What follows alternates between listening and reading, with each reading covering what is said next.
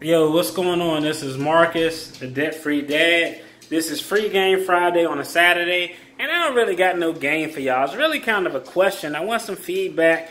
Y'all let me know if I approach this the right way. So, in this video, hey, before we even get started, check this out. Yo!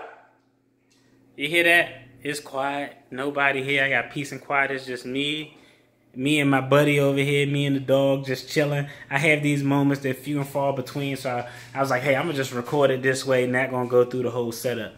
But essentially, my son wanted a guitar. Now, question number one is for parents, or if you are a parent, how do you go about supporting your child's interest, but not burning yourself financially because we, we all know kids have the attention span like goldfish. They into something one week, two weeks later, they forget about it completely. So if you actually supported every interest your kids had financially, you might go broke. So let me know how you all do it. My son wanted an electric guitar. So credit to him, he worked this summer. So he actually purchased an electric guitar. So he brought it out. He gonna be like, you got my guitar in my room? Man, be quiet. This is my house, punk. But uh, so yeah, he actually bought himself an electric guitar, right? So in buying that electric guitar, move, get off me, move, dog. Move. I don't want all that throwing me. Move. I got on black jeans. Move, place. See, I say place, then he go place. Stay. If I say place, then he go. I gotta raise my voice for him to listen, just like with the kids. I don't understand it. But in any event, he wanted this guitar. So he was working all summer. He purchased the guitar. He paid about $190 of his own money for this guitar.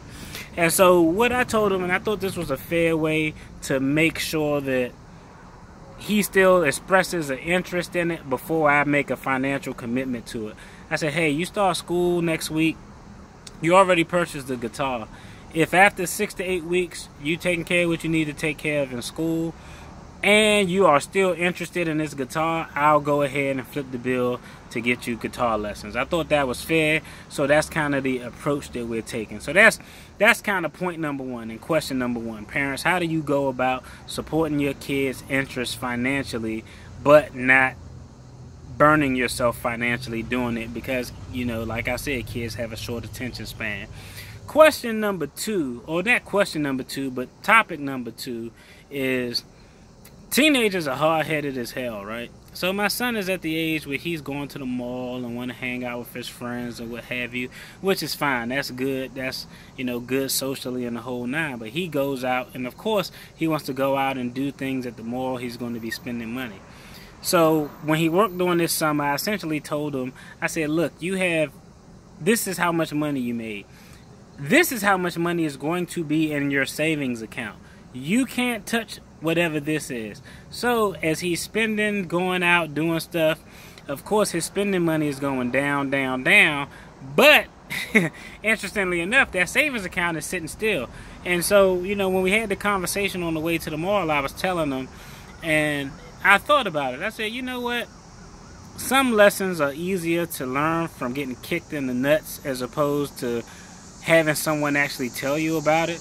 And so I said, he knows how much is in his account. I'm gonna let him spend and transfer as he see fit uh, throughout the year.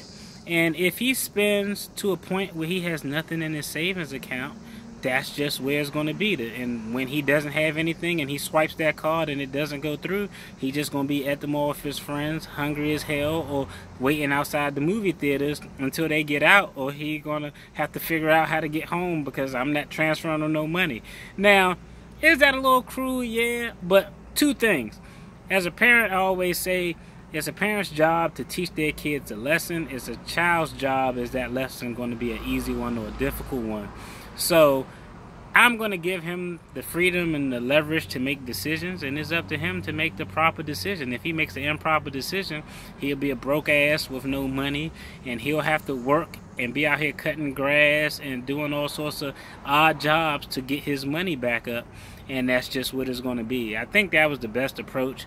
Um, you know, kids are hard headed and they have short attention spans, and so it is what it is.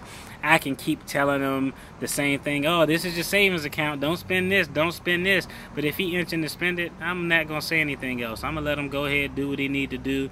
And when he absolutely broke and he needs something or wants something, he just won't get the damn thing. That's just kind of how it is. That's an easy lesson to learn.